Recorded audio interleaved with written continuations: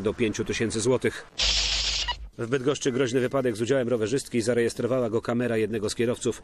Kobieta wjechała na przejście dla pieszych. Autobus zatrzymał się, ale jadące drugim pasem auto nie zdążyło wyhamować. Rowerzystka trafiła do szpitala. Jej życiu nic nie grozi. Za spowodowanie wypadku prawdopodobnie odpowiedzą i kierowca, i rowerzystka.